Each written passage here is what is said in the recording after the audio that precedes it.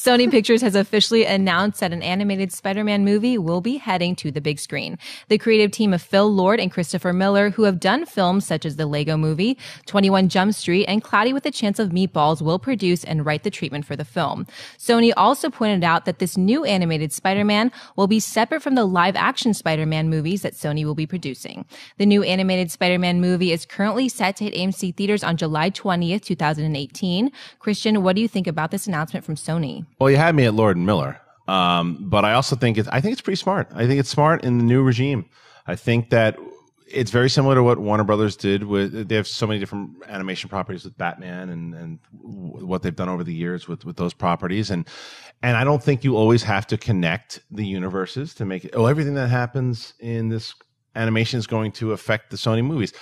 I think it's just to get excitement for the character, get a show with talent like this with Lord and Miller that you can make a fun animation film or a really good one and to have those guys who clearly know what they're doing right now they're on fire put that team together, and I'm I'm all for it.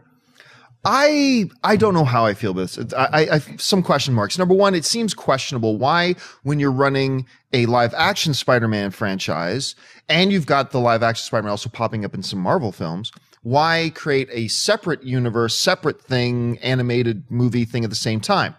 However, that gets tempered by exactly what you said. Lord Miller coming on. Uh, right now, I will check out anything they want to do. I mean, if they signed up to do the new Smurfs movie, I'm suddenly excited about the new Smurfs movie, right? The other thing here, though, is I think you also nailed the whole thing about the corporate culture at Sony right now.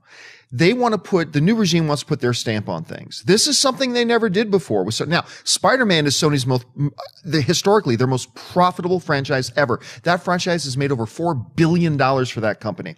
For them to come in and do something as radically different as this, could be them putting their identification stamp, stamp on this, which could be really interesting. So while I have some apprehensions about this, there's enough intriguing qualities about this to make me hang in there. So yeah. I'm going to kind of take a wait and see mentality for this. At least what about you? Yeah, me too. I remember with all those leaked emails from Sony that Sony were trying to get Lord and Miller on board to head up their animation department.